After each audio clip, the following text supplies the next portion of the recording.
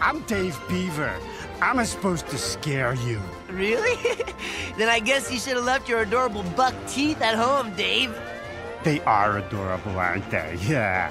And check out your Woodle Paddle tail. You want to play ping pong? I, I kind of do, yeah. Sweet.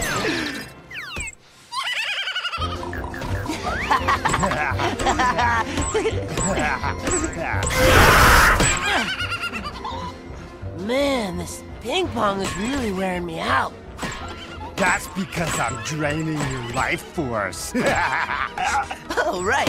Oh, oh. Psst, Team Wakey. April says you should wake up. Please. I know better than to listen to a giant talking lollipop. I learned that one the hard way. Oh.